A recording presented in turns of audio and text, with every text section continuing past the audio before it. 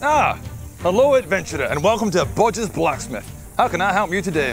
Uh, I need you to make me a very specific sword so I can finish a quest. Ah, what kind of sword is it?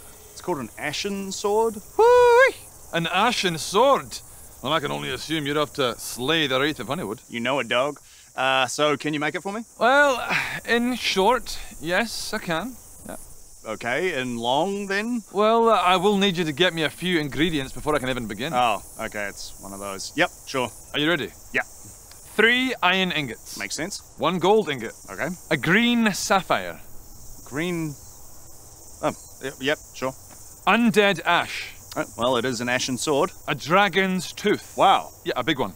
Oh, yeah, wow. Okay, um, that's, yeah, that's gonna be tricky, but sure. A spider's eye. Really? An old leather shoe. An old shoe? Yeah, like a, you know, like a, a homeless man's shoe or something. Oh, okay. A broken guitar. Oh, come on. A half-eaten sandwich. What? Mashed potato. Hang on, hang on, hang on, hang on. What do you mean mashed potato? You know what mashed potato is, right? Yeah, it's a potato that's been mashed, but how the hell is that gonna help you make me a solid steel sword? Starch. What do you mean starch? Do you want me to make you the ashen sword or not? I've got things to do. Yes, fine, yep, Okay.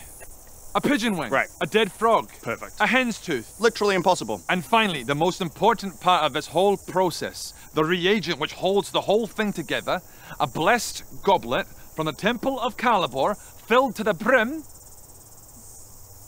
with goblin feces. Forget it. Forget it. Forget it. Abandon quest. I'm done.